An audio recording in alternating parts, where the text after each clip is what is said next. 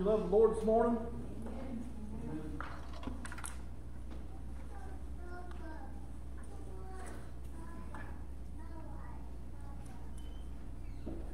Good to see each and every one of you out this morning on this lovely fall morning. A lot of smiling faces. Everybody happy? Everybody will be happy over there, that's for sure. There'll no more death, no more sorrow, no more pain, no more crying.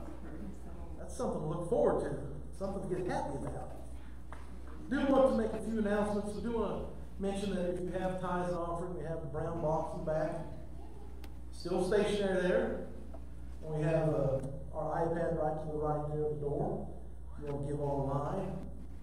Appreciate everybody's continued support of the church and ministry that's going on here. We do still have our toy drive ongoing. In fact, Daniel and Ashley went to Illinois on Thursday and picked up quite a few items, actually trailer full of stuff, for our Christmas giveaway. We've done this past few years. There's a church in Illinois that Pastor Mark knows the gentleman that is in charge of this church there, and he's been kind enough to let us get some of the items they have for their giveaway, some of the surplus stuff. So actually, they're unloading that stuff right now as we speak. But Daniel Ashley went to Illinois. But I believe they left Thursday and got back Friday morning, so they really must have booked. I'm guessing. Well, I believe it's probably some nine in our journey. We appreciate them going and doing that. So, toy drive is still ongoing. Do we have any toys this morning, Alicia? Uh, I know. Bring those up this time if you have something. Or maybe have one of the boys here.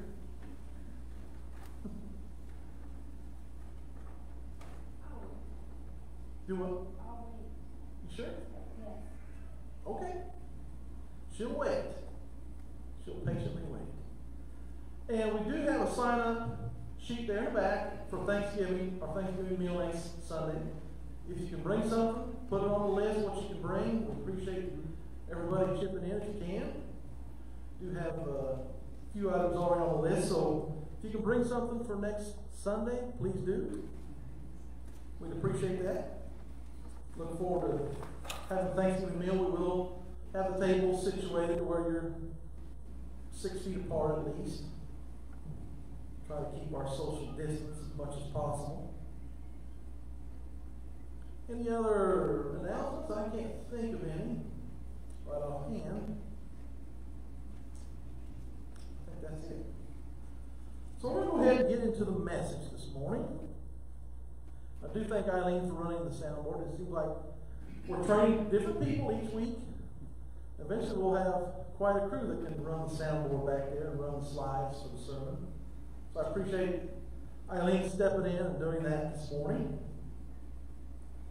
And, well, our main text will come from 2 Kings chapter 6, if you'd like to turn there for a moment. There once was a blind girl named Ramona. She hated herself because she could not see. She had no eyes. The only person in the whole world that she loved was her boyfriend, Daniel. And he loved her back.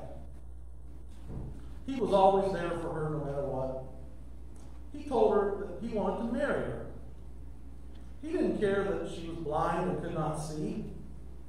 But she told him, When I can see, then I will marry you. At Christmas time that year, someone gave Ramona a pair of eyes. She was thrilled, as you can imagine. Now she could see everything. Daniel reminded her, Now that you can see, will you marry me? She looked up at him and was shocked. For the first time, she realized that Daniel was blind. He had no eyes. She shrieked, I can't marry you. You are blind. You don't have any eyes. I don't want to marry someone that can't see and is blind. Daniel walked away heartbroken. His dreams were shattered. He thought that she loved him. She was all he ever wanted. later that night, he wrote Ramona a short letter. It simply said, Please take good care of my eyes. I gave them for you. I love you. That hits pretty hard when I read that story. You know, the thing. He loved her enough to give her his eyes. It reminds me of 2 Corinthians 5.21, which says that For he made him who knew no sin to be sin for us, so, so that we might become the righteousness of God in him. Such a loving God we serve this morning. Do we really love him today? With that said, I want to talk about eyes and sight this morning. Eyes and sight. Did you know that you really have two pairs of eyes? Of course, you have your two physical eyes that you can see the material world around you with. But you also have two spiritual eyes. Eyes to see into the spirit, to see the spiritual world. You know, just as our physical eyes can become blind and we cannot see, our spiritual eyes can also become blind as well. Sadly, that's the case, I believe, for a lot of people today. I want to read Revelation chapter 3, verse 17. Revelation 3.17 says, and this is Jesus with a letter to the church at Laodicea the lukewarm church. Because thou sayest, I am rich, and increase with goods, and have need of nothing, and knowest not that thou art wretched, and miserable, and poor, and blind, and naked. They were so blind, they didn't realize the wretched state they were in, the miserable condition that they were in so too are made blind to the unseen world around us. There is a spiritual world that we may not be able to see with our physical eyes, but it's just as real as the world that you can see around you today. Now, if your spiritual eyes are open, you're going to see the spirit world. You're going to see its effects and its influence on your life.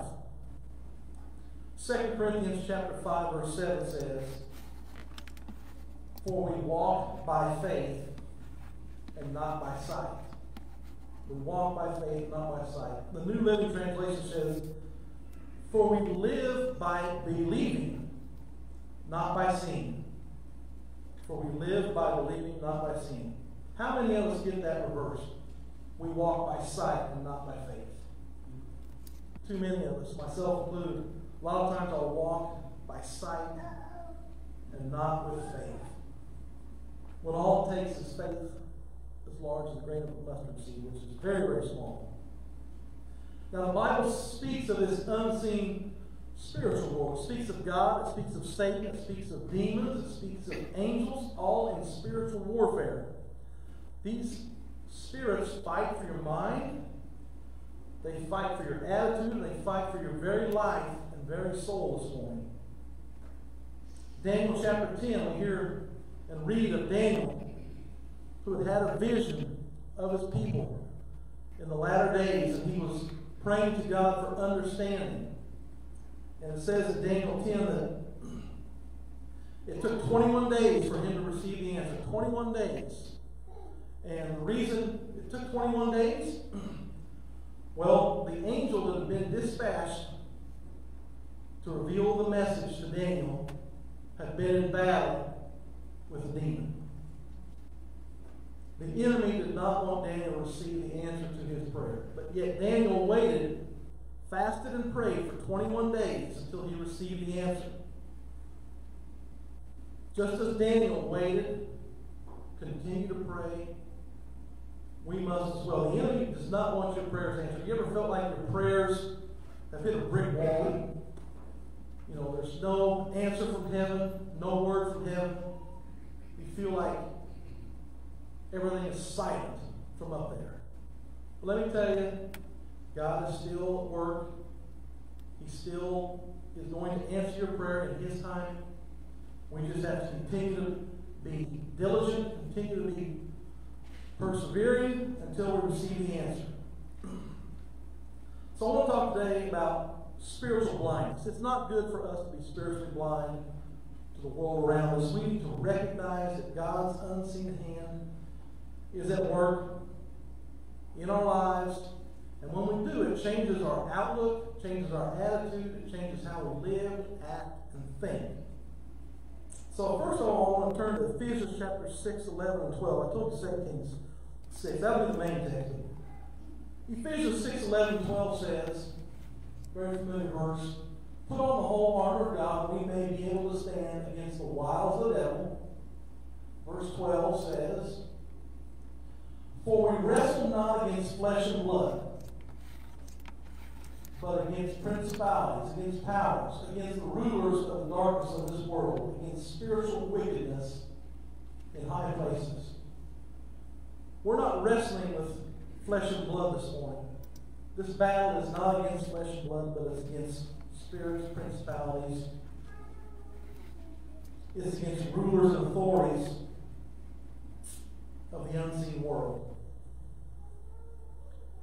2 Corinthians chapter 10, verses 3 through 5 says, We are human, my verse says. It says, though we walk in the flesh, we do not war after the flesh.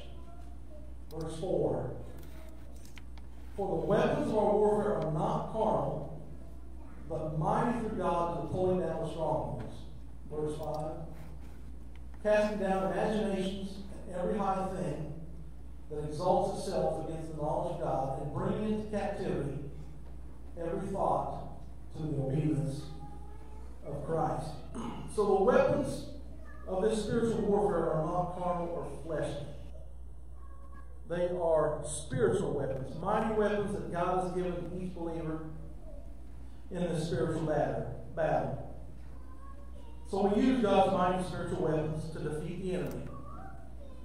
Satan's lies versus God's truth. That's what's at stake. One of the weapons we use, of course, is God's Word, the sword of the Spirit. You know, Jesus used the Word when he was tempted of Satan in the wilderness. He responded simply with the Word of God. We know the truth. Another weapon, of course, is prayer. Speaking to God, petitioning Him, coming boldly to His throne of grace to receive grace and help in time of need. Ephesians 6.18 says we're to pray in the Spirit always, with all kinds of prayer and supplication. Thessalonians says pray without ceasing, without stopping. Prayer is a very powerful weapon against this enemy. Worship can also be a weapon. Worship is more than just putting on some music. It's a condition of the heart.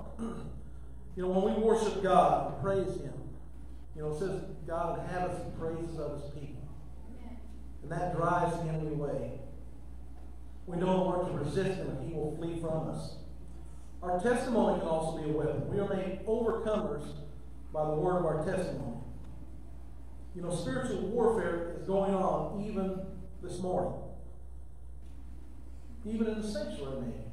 Do you ever struggle when the individuals up here speaking, such as myself? Maybe your imagination's wandering. You're thinking, okay, what are we going to have for lunch? How long is it going to take for him to get over? We got to make Chicken Mary's or wherever before the crowd is. I've got a roast in the oven. We've got to get it out before it burns. Satan does not want you to hear God's truth today.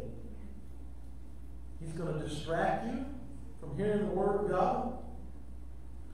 He's going to do everything he can keep this Word, keep God's truth the gospel of Jesus Christ from going forward. So we are in a spiritual battle this morning. Spiritual battle that some can see, and yet others are blind. And it's no fun to be blind, to not be able to see. How about at nighttime? Have you ever stumbled in the night, maybe to a bathroom in the dark, stubbed your toe? Oh, that's very painful. I've done that a few times, or step on one of the kids' Hot Wheels or ever step on a Lego, now that is painful. I'm guessing him has done that a few times. Step on a Lego and not very fun to be blind and not be able to see. You ever drove in the middle of a snowstorm and that snow is coming straight at you, and you can't see a thing. I mean, there's times I've done that, or even in a rainstorm where you can't see and you have to pull over. I've done that many a time. Blindness. Blindness is not good. You ever had a family member, maybe a friend, co-worker, somebody you personally knew, that maybe was in a relationship that you knew was bad or toxic for them, and yet they didn't see it? They were blind to it. You know, love sometimes makes us blind. But sometimes you just want to knock sense into their head and just take the blinders off. I'm sure we've all been there. Let them see the truth it. Well, spiritual blindness was happening to Elisha's prophet in 2 Kings chapter 6.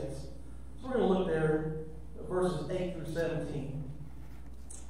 But Elisha, the prophet of God, he had a servant. And like I said, the servant wasn't quite seeing what Elisha was seeing. So we're going to go ahead and start reading at verse 8. 2 Kings chapter 6, verse 8. Then the king of Syria warred against Israel and took counsel with the servants, saying, In such and such a place shall be my king. And the man of God sent unto the king of Israel, saying, Beware that thou pass not such place, for thither the Syrians are come down. So the man of God Elisha, he's telling the king of Israel where the end is going to be. And the king of Israel sent to the place which the man of God told him and warned him of, and saved himself there, not once or twice. Therefore the heart of the king of Syria was sore troubled for this thing. And he called the servants and said unto them, Will ye not show me which of us is for the king of Israel? He's wanting to know who is spilling the beans, so to speak. And one of the servants said, None, my lord, king. But Elisha the prophet that is in Israel telleth the king of Israel the words that thou speakest in thy bedchamber. And he said, Go and spy where he is, that I may send and fetch him. And it was told him, saying, Behold, he is in Dothan. Therefore sent he thither horses and chariots and a great host, and they came by night and compassed the city about. So the king of Syria has his troops about the city.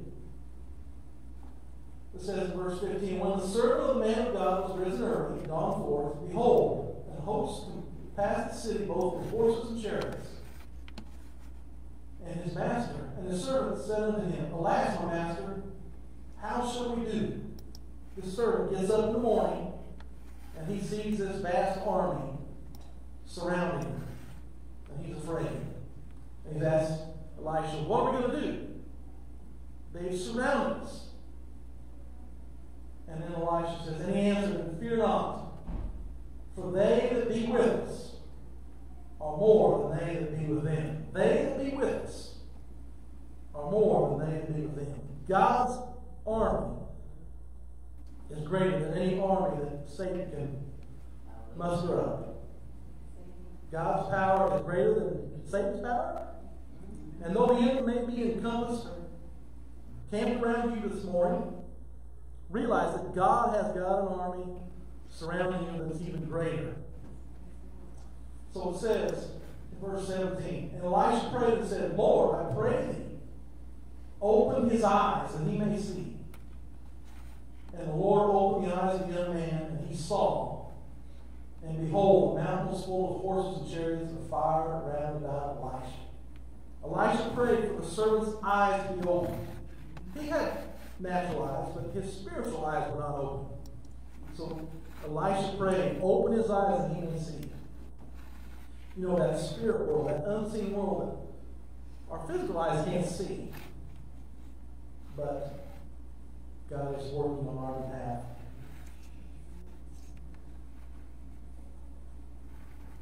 You get caught up here. So my prayer today is, oh Lord, open our eyes this morning that we may see. You know, servant, he was only looking with his natural eyes. He was not looking with his spiritual eyes. Too many of us that way today, myself included. Sometimes I look things with my natural eyes. Don't see what I want to see, become discouraged, maybe depressed. Yet, if I look with the spiritual eyes, know that God is moving. God is working on our behalf. You know, the enemy has surrounded them. This morning, the enemy may be trying to surround you, or you may feel trapped and all alone, but realize that the Lord said He would never leave us nor forsake us. He's not going to leave us alone for the enemy to come, overtake us, overthrow us. No, He's with us. He'll never leave us nor forsake us. And He protects us. 2 Thessalonians 3 3 says, 2 Thessalonians 3 3 says, oh, I got that one wrong. Did I get 2 Thessalonians 3 3? It may be froze. Who knows? It says, But the Lord is faithful. He will strengthen you and guard you from the evil one. The Lord is faithful. It says he will strengthen you and he will guard you from the evil one. Thankfully, God guards us from evil. We don't have to worry about that evil one overtaking us because God is on guard for us. I can think of no one better to guard me than God Almighty this morning. Psalms 32 7. Sure if I got that one. Is it just locked up, Eileen? It completely vanished. Oh, completely vanished. Okay. Interesting. Okay. Well, let me all read it to you. Psalms 32 7 says, For you are my hiding place. You protect me from trouble. You surround me with songs of victory. Our God shelters us. He protects us from the enemy. He protects us from harm and from trouble. We may not see him with our physical eye, but we know that he is there. You know what? We come together, and you can feel, feel him anywhere. We feel the presence of the Lord in this place. Feeling at home wherever we're at. There's nothing like the presence of the Lord, in my opinion. To have the presence of the Lord surround you brings comfort, brings peace. You know, that servant, he cried, What will we do now? Fear had gripped him. What will we do now? Fear had overtaken him because he saw that vast army surrounding him.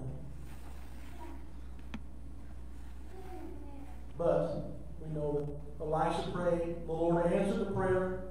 His fear turned to faith, his fear turned to courage when he saw God and his army protecting him and surrounding him.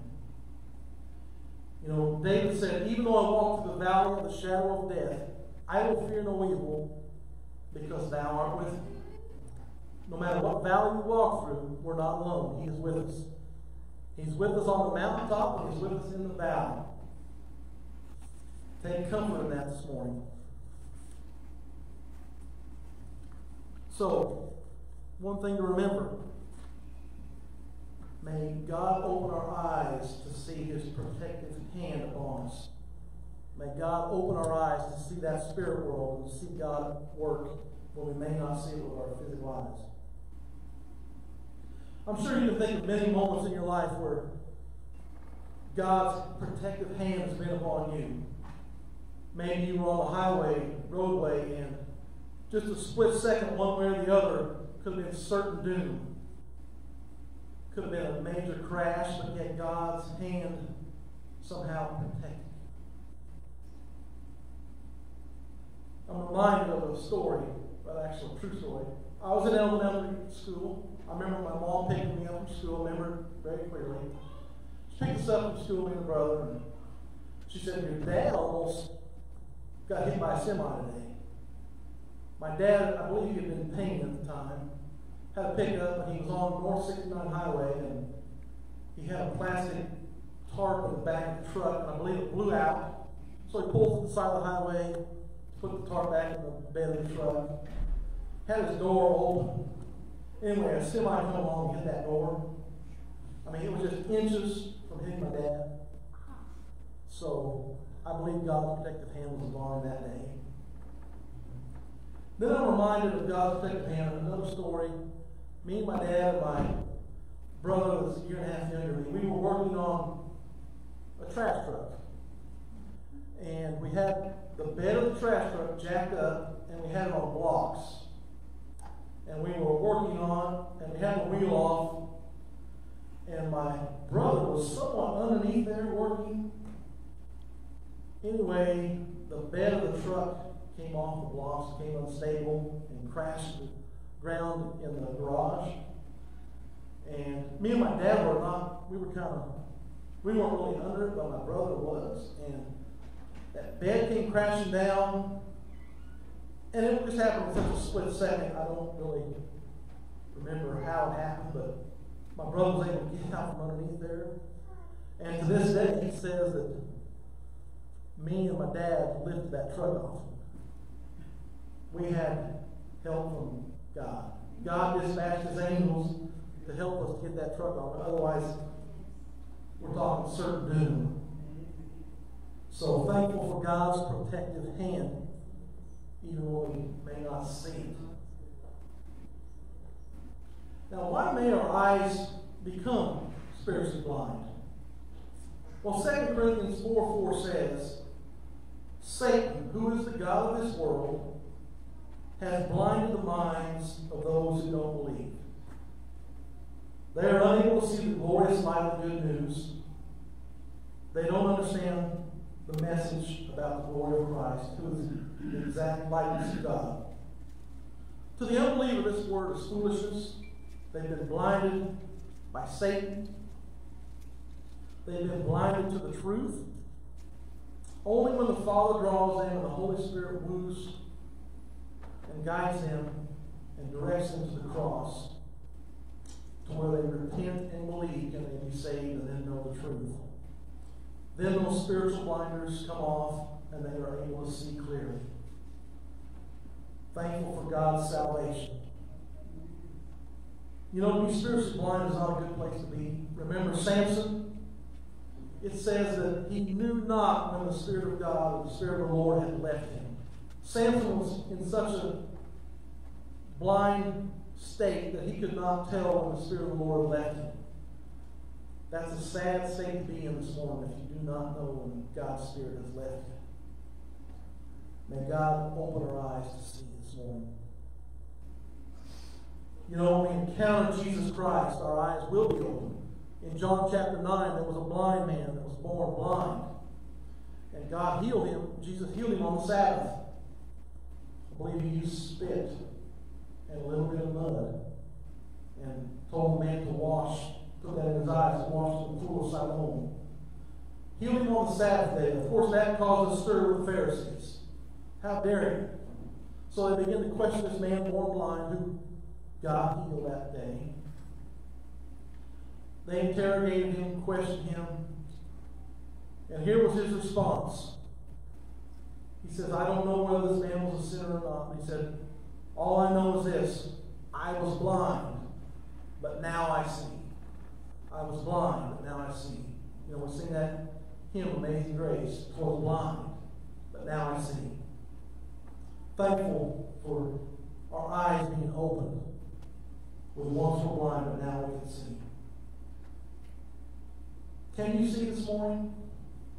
There's a saying, you can't see the forest because of the trees. That means you're so preoccupied with every detail you can't see the big picture. Can't see the forest for the trees. Distractions in our life, the cares of life. Satan will use all that to distract us from what God is really doing in our lives, what God wants to do in our lives, what He wants to accomplish. Reminds me of the tale of Sherlock Holmes and Watson those fictional characters.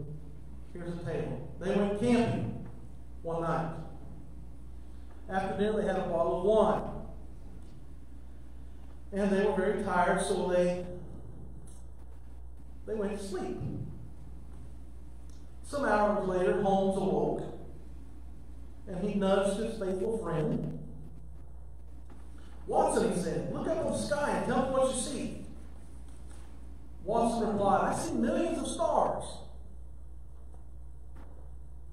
Sherlock said, What does that tell you? Watson pondered for a minute and he said, Astronomically, it tells me that there are millions of galaxies and potentially billions of planets. Astrologically, I observe that Saturn is in Leo. Horologically, I deduced that the time is approximately a quarter past three. Theologically, I can see that God is all powerful and that we are small and insignificant. Meteorologically, I suspect that we will have a beautiful day tomorrow. What does that tell you, Holmes? Holmes was silent for a minute, then he spoke. Watson, you idiot, someone has stolen our tent. You see, he was so looking at all the stars, he didn't realize the tent had been stolen.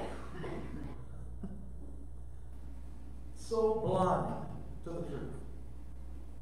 I pray today that we're not blind and that we're not too caught up in the affairs and cares of life that we do not see God's hand at work in our lives. Whatever you have a need for today, continue to pray, continue to seek, continue to persevere, be persistent. God is working on your behalf. He's working in your situation, whether you see it or not. Just got to be faithful, be patient. Need to hold tight to God's unchanging hand.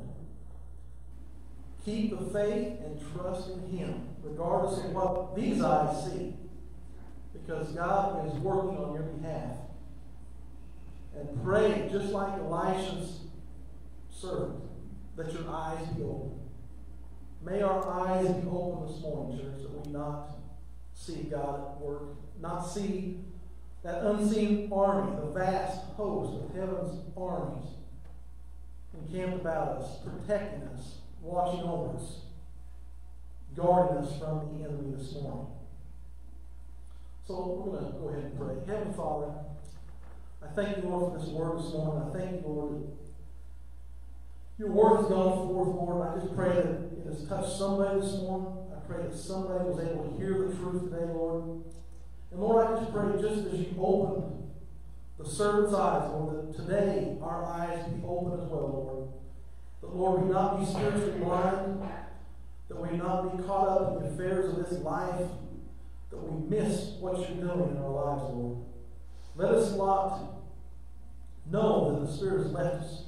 Lord, I pray that that Spirit, your Holy Spirit that is within us, will continue to move in our lives. We'll continue to allow the Holy Spirit to do great things in our lives, to lead and guide us into all truth.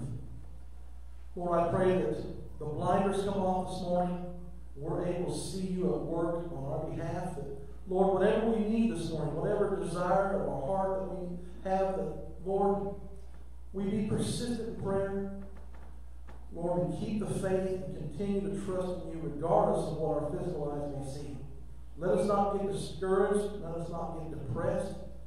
But let us be encouraged by what you're going to do, Lord, what great things you have in store for us. We just need to keep the faith, persevere, and trust in you, Lord. Lord, I pray for each and everyone here today, Lord, that the spiritual blinders are off, that we see your spirit at work and move in our lives, that we see that you have an army camped about us, Lord, that you are protecting us. You keep us from harm, you keep us from trouble. And Lord, I just pray for those today that may be blind. Lord, I pray that their eyes be open, Lord, that they no longer stumble through the darkness, Lord, that they turn to you, Lord, the light of the world, Lord. Thank you, Lord, for blessing this church. I thank you, Lord, for keeping us. I pray for those who could not make it, those sick in body, that they would be healed this morning. Touch them, let them feel your presence in a mighty way wherever they may be. Lord, I just pray that you direct us, guide us this coming week, Lord willing. Give us divine appointments, moments where we can share the gospel, we can share what wonderful things you've done for us, Lord. And I just pray that you just prepare the hearts of those people that will hear that. Let them be prepared to hear the message. Let them, Lord, return and turn to you and repent from their sins and believe in Jesus Christ, the only Savior that this world has ever known and ever will know. I just pray your choice blessings upon each every family here. Keep us safe and go with us our separate ways. In Jesus' name I pray. Amen. Have any special needs? We need anybody special needs wants to pray for?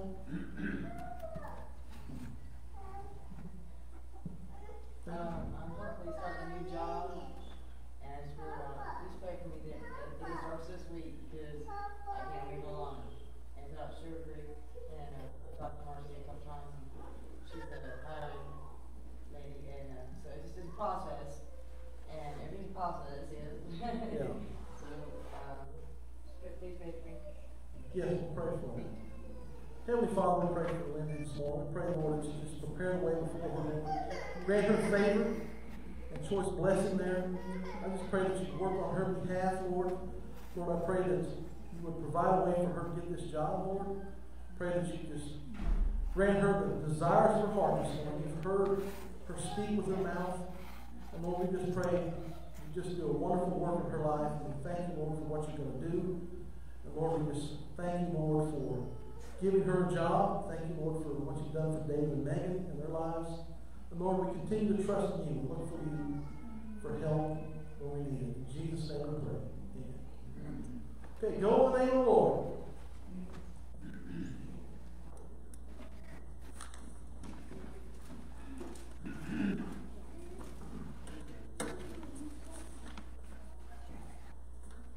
Hey, that's a good message, brother. Oh, thank you. You, I like being around